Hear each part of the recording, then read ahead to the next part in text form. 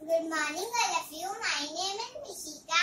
I reading first C. My school name is केंद्र विद्यालय KBS number two Hindon ये है मेरी शब्द लड़ी महल ये है महल महल के आखिरी वर्ड में आता है ला ला से हम वर्ड बनाएँगे लटक लटक लटक के आखिरी वर्ड में आता है का का से हम वर्ड बनाएँगे कलम कलम के आखिरी वर्ड में आता है माँ माँ से हम वर्ड बनाएँगे मछली मछली के आखिरी वर्ड में आता है ला ला से हम बनाएँगे लाजवाब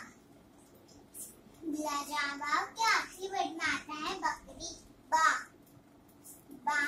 हम बनाएँगे बकरी। बकरी के आखिरी